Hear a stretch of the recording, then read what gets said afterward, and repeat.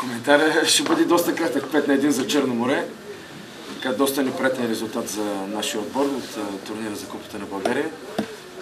А, дойдохме с идеята и с желанието да, да се представим добре и ако може да постигнем така по, по-добър резултат за реванша.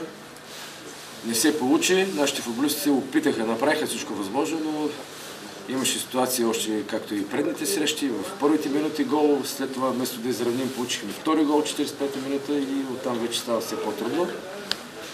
Дори при 4 на 1 имахме ситуация да стане 4 на 2, веднага след това стана 5 на 1. И, и така. Поздравление за Черно море. Живото здраве има и втори ваш ден, но при този резултат едва ли. Благодаря. Включването на Си- Ласиман доста така движи играта ви в офанзивен план. Защо не заложихте на него в началото и каква беше причината Кара Герен също да не го използвате? Така първо за Ласиман. При седмицата имаше съмнение от доктора, че има отлепен менискус. И така две от тренировките преди срещата едва ли него чакахме да се контузи, провокираше контузията. И затова решихме, че на този тежък терен и на това време ще бъде по-удачно така да играе по-малко минути.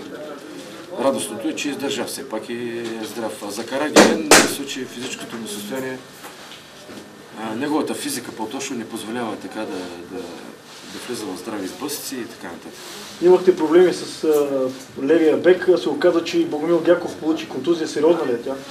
Доколкото разбрах от доктора, мисля, че е усукал коляно, сега ти първо ще разберем.